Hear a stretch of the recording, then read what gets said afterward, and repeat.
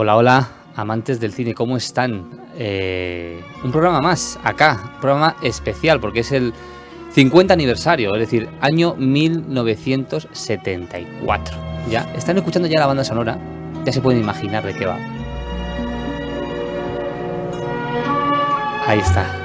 Año 74, El Padrino, parte 2. Así que vamos a hablar de una película que podríamos estar hablando horas de ella, pero vamos a hablar solamente unos minutitos. Y sobre todo, como es especial, 50 aniversario de la película, tenemos aquí a un invitado especial, que ya es invitado del programa en otras ocasiones.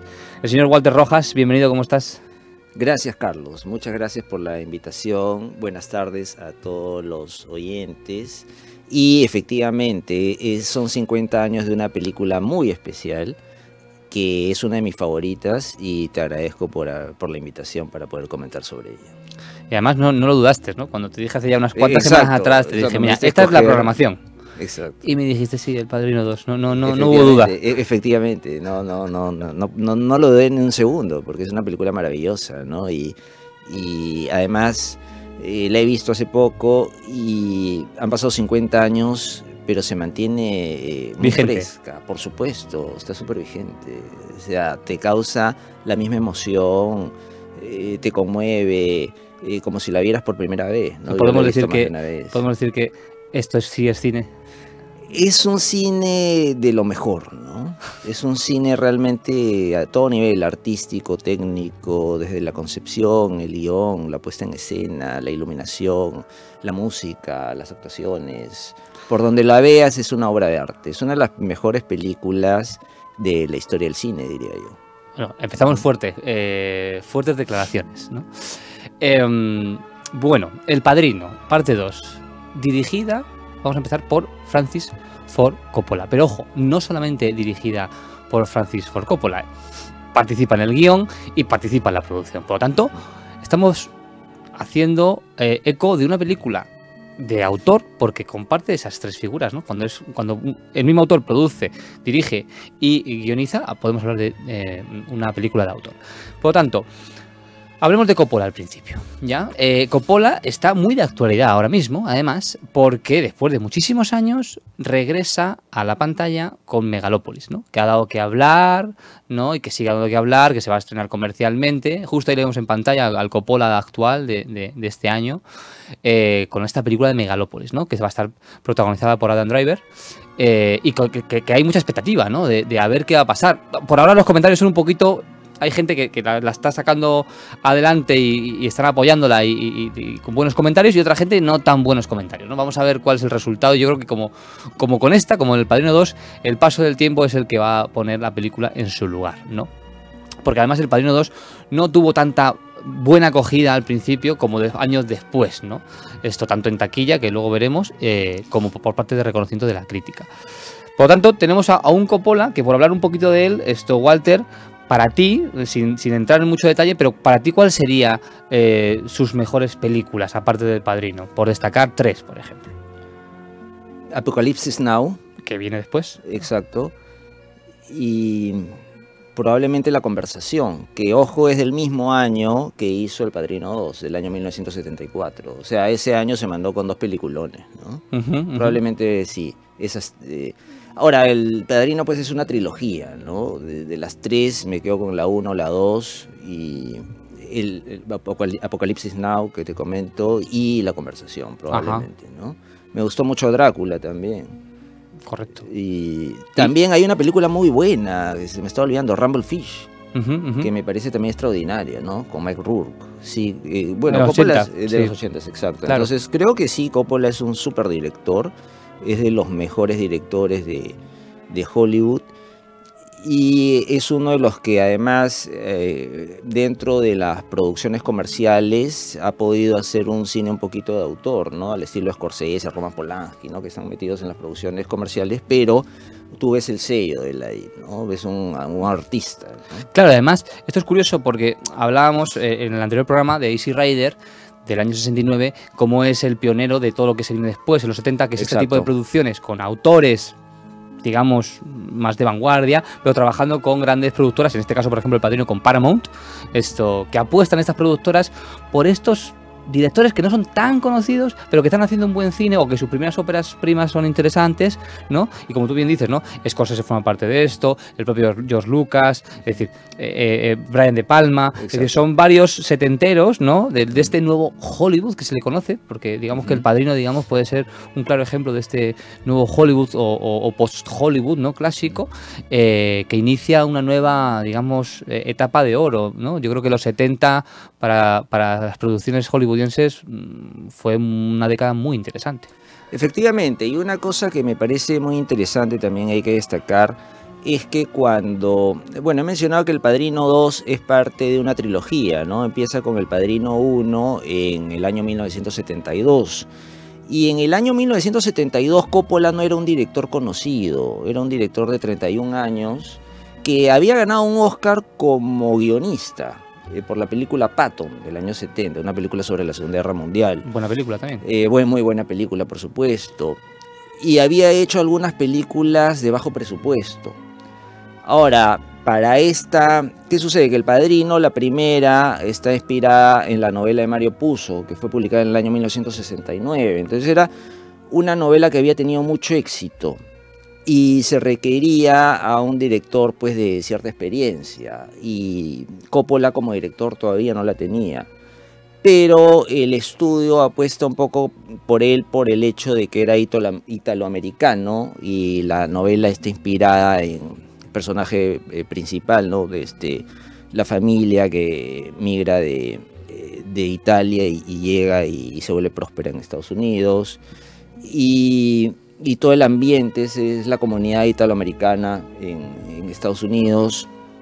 Y como, comento, o sea, eh, él, hubo algunas dudas al ponerlo a él como director, ¿no? Pero sí pesó el hecho de que, bueno, ya había ganado un Oscar como director, había hecho algunas películas, por lo menos de, de bajo presupuesto, pero había hecho algo, y era un italoamericano, ¿no? Efectivamente, estás hablando del guion y eso creo que es interesante, ¿no? El guion que está compartido por el propio Francis Ford Coppola y por Mario Pucho. Ojo, participan los dos, ¿no? En, este, en esta escritura de, guion. ¿Nos puedes contar algo, algún detalle sobre, sobre el guion, alguna anécdota o algo sobre el propio guion de la película? Bueno, yo creo que lo importante del guion es que eh, fue un... Eh, bueno, el guion es bien parecido a la película. O sea, cuando leí la novela, este, perdón, es bien, el guion es bien parecido a la novela, porque cuando leí la novela, eh, las escenas son muy parecidas. Hay algunas escenas como, por ejemplo, cuando Michael Corleone cita, se cita con el jefe de la policía y un mafioso y le esconden una, un revólver en un baño. Ajá él entra, saca el, revólver y los mata. es, tal cual, es, tal cual está escrita en, la novela. La diferencia está un poquito al comienzo y al final, porque eh, la novela empieza con eh, la historia de unos chicos que han abusado de una, de, una mujer, de una chica, y el juicio. en el juicio, ¿no? Y ahí es donde el papá de la chica se siente pues eh, decepcionado de la justicia y acude al padrino. En la película ya lo vemos de frente, en la, cita que tiene el padrino. Y el final también es distinto porque en la novela, tiene un final muy bueno la novela, que es cuando la, la esposa del padrino, de, Vito Corleone, va a misa y, la esposa de, de Michael Corleone tiene una curiosidad a dónde va pues su suegra todos los días, todas las mañanas. Y, se, y la sigue y se da cuenta que iba a misa. Y se da cuenta que rezaba por su esposo, ¿no? Para que no le sucediera nada, porque era un mafioso. Está bien, entonces por lo tanto tenemos un guion que está fielmente adaptado a la novela Esto, y que dialoga muy bien con ella. Para seguir hablando un poco de la película de más eh, detalle, el tema de los actores. Yo creo que hablemos un poquito de los actores, porque tenemos un plantel de actores espectacular. Al Pacino, Robert De Niro, John Casal, esto que le veremos justo al final en una escena, una pequeña escena. Eh, tenemos un conjunto de actores que bueno, pues que marcó una época que a partir de ahí ya eh, también se hicieron más reconocidos, porque ahí todos, al final todos estaban casi iniciando, ¿no? E, exacto. Mira, con respecto a los actores, esta película pues yo diría que es casi un milagro, ¿no? O sea, en el sentido de que para empezar, eh, estos actores no eran los actores que quería la productora Paramount Pictures. Eh, no lo querían, como te digo, mucho incluso el mismo director, a Francis Ford Coppola. Sin embargo, bueno, lo contratan a Coppola y él decide, bueno, escoger a sus actores para El Padrino 1, él insiste mucho en que contraten a Marlon Brando, porque la productora no quería, porque era un, actor aparentemente muy problemático. Sin embargo, finalmente ceden ante la presión de Francis Ford Coppola y gana el papel, el Oscar a Mejor Actor. Y luego empiezan, como tú dices, una serie de actores que no eran muy conocidos, como Al Pacino, John Casale, James Caan, o también el de Robert Duvall. Y es un grupo de actores impresionante, ¿no? Ahora, estos actores eh, se repiten, a excepción de Marlon Brando y James eh, en El Padrino 2. Eh, Al Pacino hace una eh, interpretación genial, impresionante. Y es ahí que ya desde El Padrino 1 o 2 empieza a ser más conocido, porque un comienzo no era conocido. Sé que para El Padrino 1 quisieron poner, por ejemplo, en su papel a Ryan O'Neill, porque venía de haber ganado un Oscar, un Oscar con Love Story, Historia de Amor, ¿no? Pero también por presión de Coppola eh, lo pone a Al Pacino y hace un papel impresionante que lo repite este, en El Padrino 2. Y también hay un actor muy importante en El Padrino 2 que es Lee Strasberg. Ajá que era... Esto es una, esto, atención, porque esta es una interesante anécdota, no tan, no anécdota, porque hasta Lee Striver estuvo nominado a Mejor Actor de Reparto. Cuéntanos, porque es, es importante. Bueno, porque es importante Lee Strasberg. Lee Strasberg era un ucraniano que había llegado a Estados Unidos muy joven y se había hecho director, director de, de teatro. Y a fines de la década del 40, junto con un director turco, Elia Kazan, forman una academia de actores que se llama el Actors Studio, que es una de las en Nueva York, que es una de las academias más importantes de, actuación. Y él adopta de Stanislavski, un director este, ruso, un sistema de actuación, un método, de actuación, eh, que lo denominó simplemente el método. ¿no? Y él, Lee Strasberg, fue el maestro de las grandes estrellas de cine, desde Marlon Brando, Montgomery Clift, James Dean, hasta estos actores de los 70 que tú mencionas, Al Pacino, Jack Nicholson, eh, John Casale, todos ellos salían del Actors Studio. Entonces, Lee Strasberg es el maestro, el gran maestro de todos estos actores. Pero ¿qué sucede? Que él no había participado en películas, alguna película de la década del 50, pero él no era un actor de cine. Entonces, en El Padrino 2, Al Pacino le pide a Francis Ford Coppola que, le, que lo ponga en un papel a Lee Strasberg, a su maestro, al maestro de todos ellos, ¿no?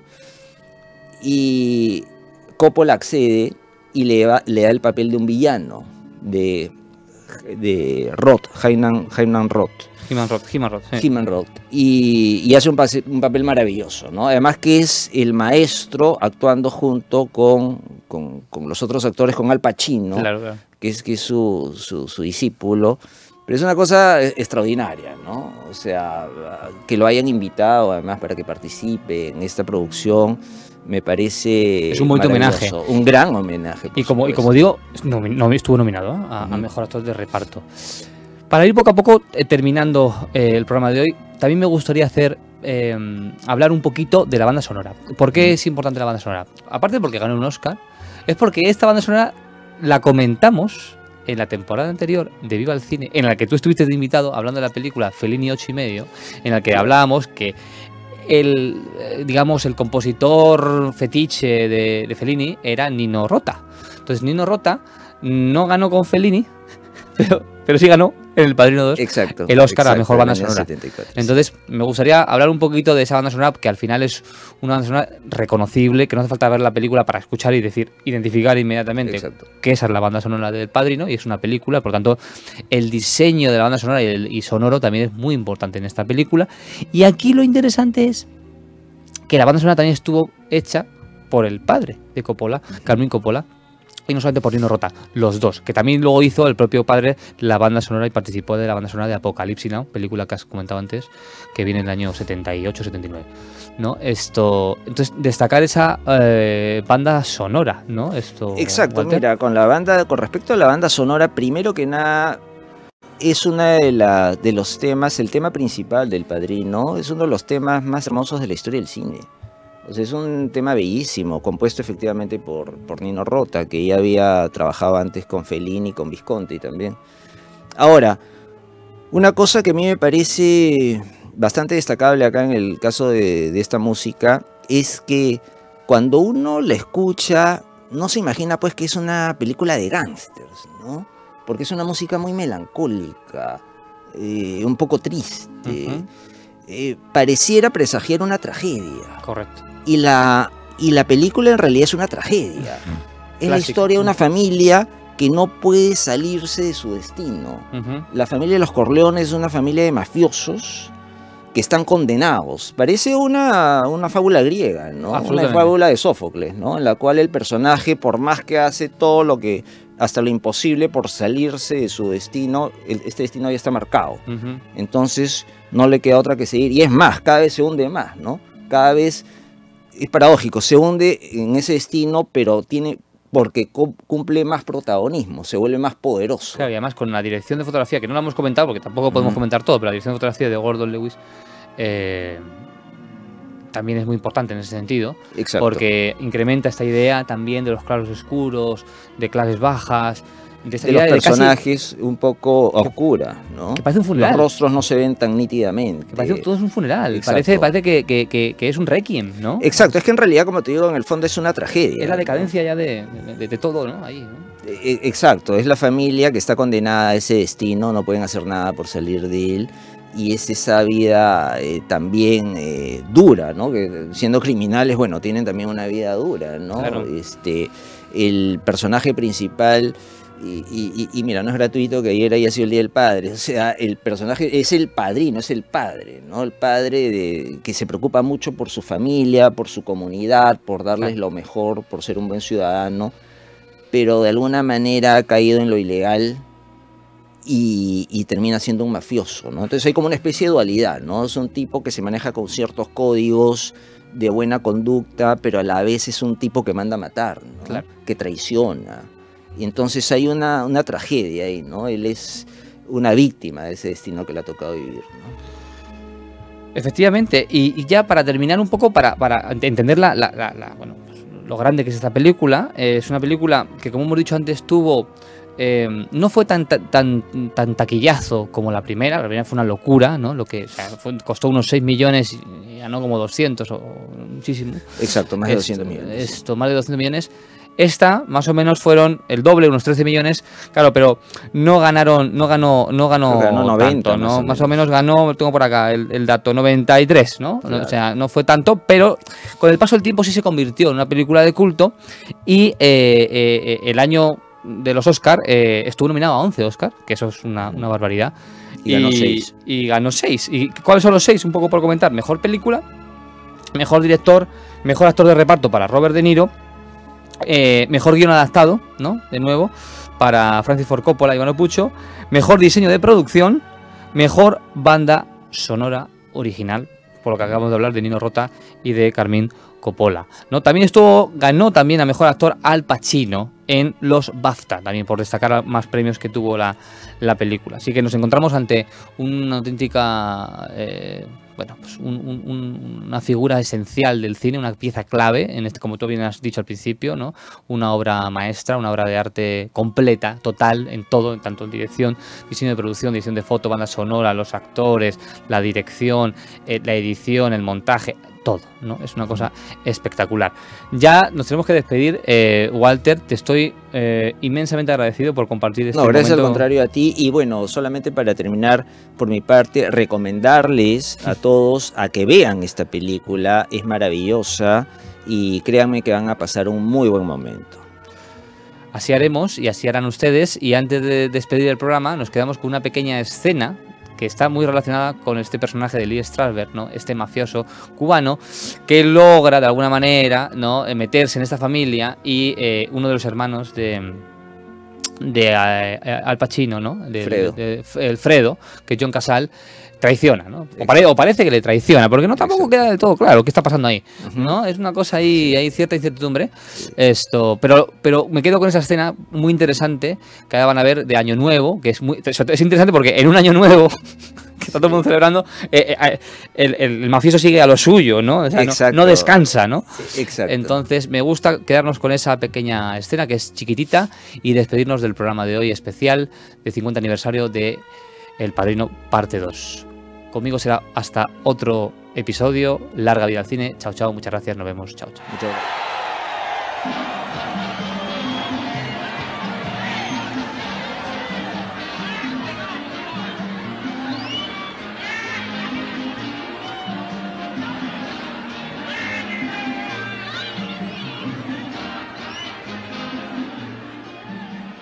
There's a plane waiting for us to take us to Miami in an hour.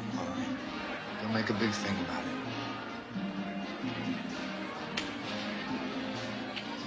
I know it was you, Fredo. You broke my heart. You broke my heart.